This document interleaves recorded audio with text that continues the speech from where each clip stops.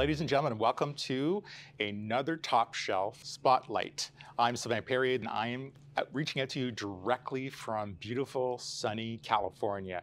Now, the last post that we did on LinkedIn where I talked about OpenAI, ChatGPT, generated a lot of interest and tons of follow-up questions.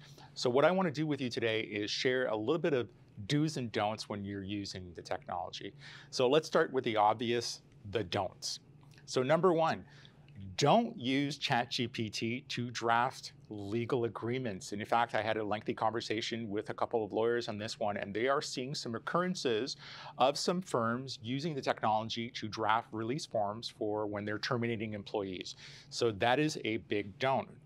Legal language needs to be drafted in accordance to the state in which it originates. ChatGPT, not the right tool to use in this case here.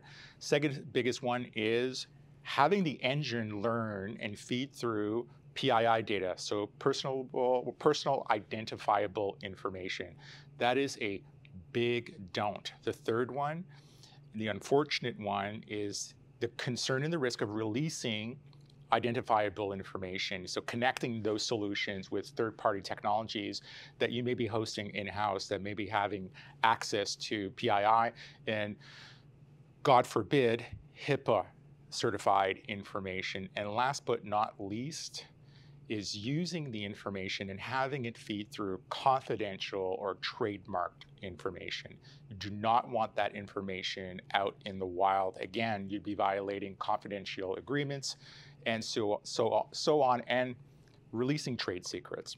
Now, the do's of what you can do with this technology uh, using it to enhance subject lines uh, in emails, uh, helping you write social media posts and content that are going to really resonate with your audience.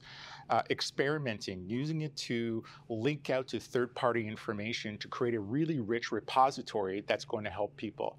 Uh, and this is one of my favorites in the do's, is teaching the system to learn about your own applications and solutions, how they work, to really enhance the experience of your help desk in terms of how they support your associates or how they support your customers. Now, so what, here's what I encourage you to do. Take the do's and don'ts and set up set them up as guardrails. I don't think we've really necessarily have completely seen this proverbial iceberg of what we should be doing with this type of technology. But go out, experiment, try it, uh, little SWAT teams, iterate with it. And then when you find that one nugget, try to incorporate it inside of your policies, your procedures, your operational processes. And best of all, come back to us, let, know, let us know about your experimentations. So I hope this segment has helped you out. I'd love to see your comments below the post.